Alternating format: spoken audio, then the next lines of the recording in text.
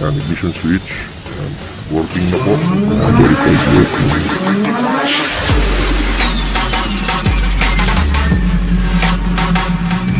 Mitsubishi ah, Lancer. So, hindi ko alam, engine swap daw po to eh. So, sa GSR po siya nakakabit. Ayan. Ah, di ko lang alam anong type ng engine to. Pero mukhang 6 cylinder siya kasi ito, mukhang ito yung mga injector driver. Ayan, mukhang 6 cylinder. Then, customer complaint po, ah, engine won't start. So, tinry natin siya dito sa simulator. Ano yung dahilan? Bakit ayaw niya umandar? So, activate natin yung ah, CKP tsaka CMP signal Ayan, makita nyo ah, working yung ah, batch firing ignition coil and fuel pump na may check engine tayo ito yung main relay na naka ignition on po yan tapos ah, parang event na sana yan kaso hindi gumagana yung fuel injector so possible ito yung kanyang ano yung kanyang issue kaya engine won't start Ayan, kahit isa man lang sa fuel injector, walang gumagana. No? So, try natin buhayin yan. Natin natin kung ano, ma-revive natin tong ECU na to kasi na-repaired na rin eh. Yan, nagpalit na sila ng mga capacitor.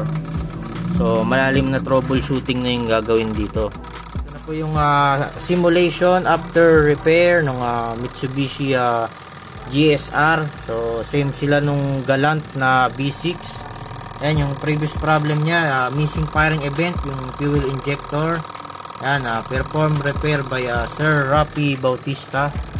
Ayan, siya pong ano niyan, naka ah, nag-troubleshoot. Ayan.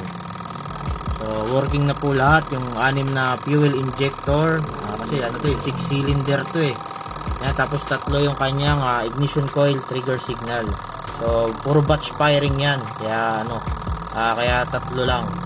Ah, so verified working na po ito yung uh, fuel pump relay trigger signal main relay check engine yan yung makikita nyo yung fuel injector nya parang uh, nagra-running light so may, sobrang hirap kasi timing nitong uh, ECU na to yan nakaset tayo ng uh, 20 Hz sa crank and 27 Hz sa cam yan verified working na po itong uh, ECU yan yan, nag-fire na kanyang uh, fuel injector. So, ano pala to? Sa Lancer GSR na FTO. So, siguro imported tong variant na to. Yan, ito na po. Yan, thank you.